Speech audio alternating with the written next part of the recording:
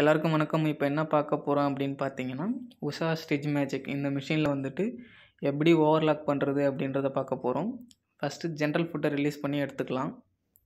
எடுத்துட்டு ஓவர்லாக் ஃபுட்டை வந்து இன்செர்ட் பண்ணிக்கலாம்.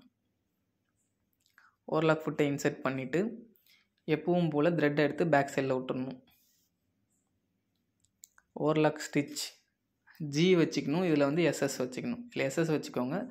செலக்டரில் வந்துட்டு ஜி ஜி வச்சுக்கோங்க.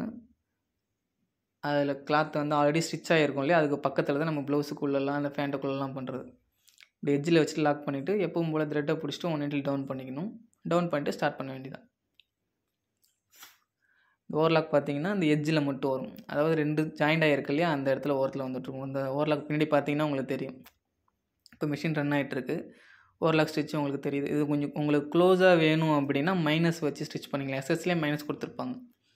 கொஞ்சம் கேப் வேணும் அப்படின்னா ப்ளஸ் வச்சுக்கலாம். மோஸ்ட்லி வந்துட்டு எஸ்எஸ் வச்சாலே கரெக்டாக இருக்கும். ப்ளஸ் அதிகமாக தேவைப்படாது மைனஸ் தான் தேவைப்படும்.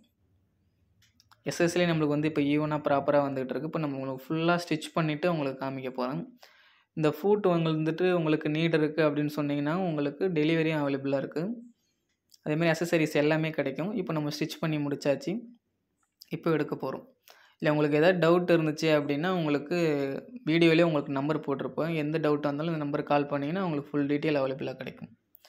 தேங்க்யூ ஃபார் வாட்சிங் ஓவர்லாக் நல்லாயிருக்கு இருக்குது தேங்க்யூ